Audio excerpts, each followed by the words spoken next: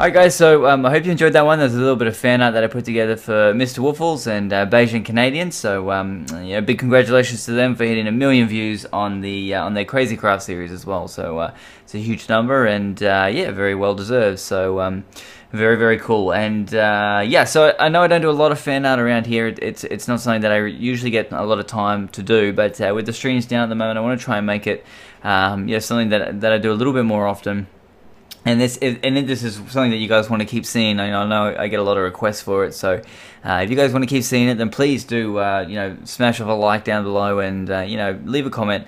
And uh, that might be the way we pick them from now on. We might uh, you know go through the comments and see uh, you know what you guys want, who you want to see next, because I don't really have any have any plans of myself for myself. So um, yeah, if you, you sort of throw down there what you guys who you guys want to see next, and we might be the way to do it.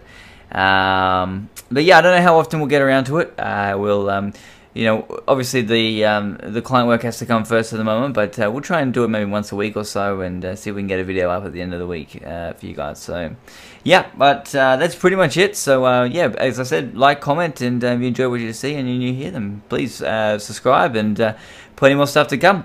All right, guys. Well, that's me. So I'll catch you later. Bye.